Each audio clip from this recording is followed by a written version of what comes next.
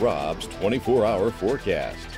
Just a beautiful winter day across Acadiana with that chilly, frosty start this morning, but temperatures managing to get into the mid to upper 50s as expected. Cooling off nicely, already down into the mid 40s for most of us, and we'll be heading into the uh, mid to upper 30s later on tonight. Fair skies across the area, and as we take a quick look at the graph model, chilly temperatures getting down into the upper 30s to lower 40s tomorrow morning. Colder off to the north. We'll detail your forecast lows in just a bit. Tomorrow, mostly sunny, breezy, and mild day. And winds stay mostly west southwest rather than southwest, we should see temperatures in the upper 60s, maybe even near 70 in a few spots. But don't get used to it. That front pushing on through tomorrow evening. So we'll be back to cooler weather Friday into the weekend. Some patchy frost and patchy fog by tomorrow morning. A mostly sunny day ahead with temperatures topping out in the mid to upper 60s. Beautiful day tomorrow.